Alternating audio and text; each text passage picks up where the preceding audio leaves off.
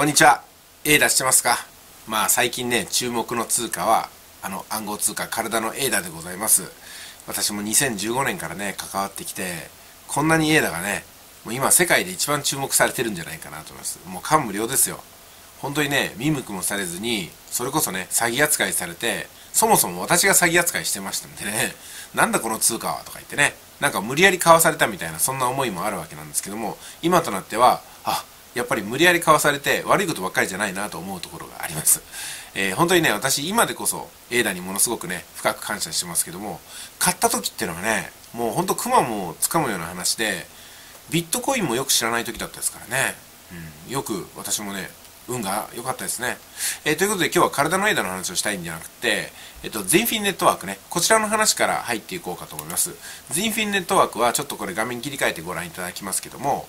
現在111位だったかな。えっと、3.77円ということで、私が見始めた時って2円前後だったと思いますので、ちょっと値段が上がってるんですよね。これからゼンフィンネットワークが XRP にとって変わられるんじゃないかなっていうところも山をかけて注目してみたわけなんですけども、どうやらね冗談じゃなくってズイフィンネットワークが盛り上がってきそうなそんな記載するんですよね。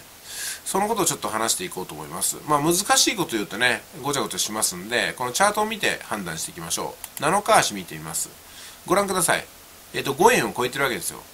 えっ、と私がねズイフィンネットワークの話題を出し始めた頃って14日足で見てみますとこの3円を割って2円えー、20とか2円30とかこの辺のねところだったんですよね動きとしては。この辺の時にジンフィネットワーク3円を超えるんじゃないかなと思って注目してある一定の金額を購入することをね皆さんともお話しました。ただしこれ日本の暗号通貨の取引所では買えません。ですんで私は海外の取引所も何社か持ってますんでそちらの方で購入することになったんですけどね。まあまんまと5円を超えて5円を超えるとちょうどここにね利確ラインがあるんですよね。多くの方が利確してドーンと値段が下がりました。まあそんな感じなんですよ。大体5円っていうのがこの5円っていう切り板がねえー、まあ、きっかけになるんでしょうね、ここがね。うん、まあ、けどね、倍とは言わないんですけど、倍近くの利幅が取れたんではないかなっていうところです。ジンフィンネットワーク。5円を超えたってことは、これもう一回5円超えていって、5円の壁を超えてね、今度はね、5円で利確した人がそれ以上の価格を見ていきますから、まあ、ですんでね、徐々に伸びていくんじゃないかなと思います。30日見ていきますね。多分5円が今までのうちの最高値だったと思うんですよ。で、ずっとね、ジンフィンネットワーク見てた方、ほらね、右側に行くに従って、この以前は3円を超えた時に利確した方が多かったんでなだらかに下がってきましたね。で今度は5円を超えた時に下がっていったんですよ。ただレジスタブラインとしてはここ前回の高値3.15円ね。ここはもうねレジタブで割らないようになってきてますんで多分3円の20とか30あたりで反発して上昇すると。要するにこう1つの波2つの波3つ目の波を作って6円を超えていく流れができるんじゃないかなというふうに思ってますね。これ私が思ってるだけですからね。皆さんには皆さんの読みがあると思いますんで、えー、ぜひね賢い選択をされてください。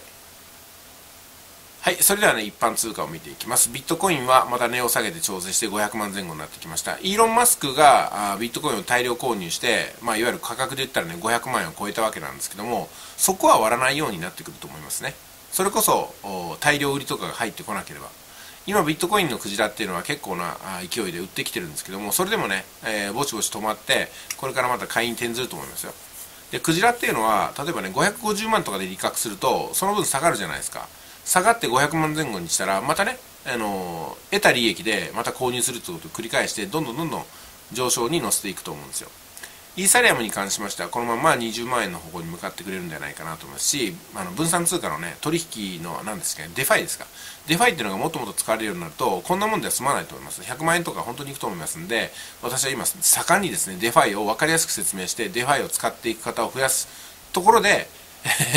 イーサリアムの値段を間接的にね上げていこうかなっていう姑息な作戦出てますね。でもそれがね本当に金融業界を盛り上げることだと思うんですよ。金融にはいろんなねプラットフォームがあっていろんなテクニックが出てくるんですよ。いろんな稼ぎ方が。その稼ぎ方を知らないからユーザーが増えないってことですんでユーザーを増やすためにこんなに便利に使えるんだよとこんなに可能性があるんだよってことをどんどんどんどん喧伝することによってイーサリアムの購入者を増やしていってそして結果的にイーサリアムが値上がりするっていう流れをね、え作っていこうかと思います。これが情報で稼ぐってやつですね。皆さんもぜひ使ってください、えー、4位のエイダ。120円ですね。まあえー、ちょっと赤字でグラフの方来てますけども一応見てみましょうか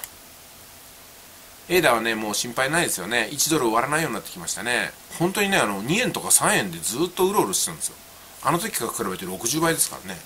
で、プレセールから買った人から見ると600倍とかになってるわけですよ。えげつないですよね、これね。うん。エーダね。90日見てみましょうか。この急動ぶりすごいですね。ジンフィンネットワークでもお話しましたけども、形が似てるでしょ。1個目の山があって、2個目の山があって、2個目の山って1個目の山を割らないわけなんですよ。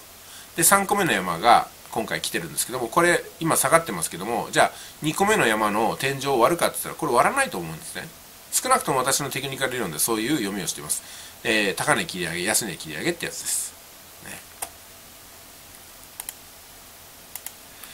はいということでね特に特別な情報を私持ってるわけではありませんし特別なテクニックがあるわけではありません。粛々と FX のテクニカル理論だけで暗号通貨の方も見ております。ですんでテクニカル理論が通用しない通貨はねやっぱ出来高によってありますからそういったものは基本的に見ないようにしてるんですよ。というのがね暗号通貨いっぱいありすぎてそれこそねリサーチすればキリがないんですよね。だって10通貨だってフォローできないんですよ。だから私がねあのある通貨に対してうんなんかその勝手なこと言うとねいや久保さん知らないからそんなこと言うんですよ。そうなんです。知らないんですよ。知らないんで私はテクニカルからしかすいません。いろいろと言えません。極秘情報もないですからね、検索して知れること以上私も知れないんでね、インサイダーでも何でもないですから。あですんでね、よろしかったらね、秘密情報を知ってる方がいたら教えてください。それが本当の情報なのか、まあ、なんかのね、間違いなのかデマなのかってことは私が判断しますんで、あの、情報を伝えてくださればね、もう、受け取った後は、情報を受け取った後は、受け取った人の選択の責任ですから。お前がそう言ったじゃないかよなんてこと言いませんのでね そういうケチな人間ではないですから大丈夫です。私もプロですんでね、自分が選んだことには自分で責任を持ちます。あなたに責任は戻しませんので大丈夫です。それでは本日は以上です。さってことです。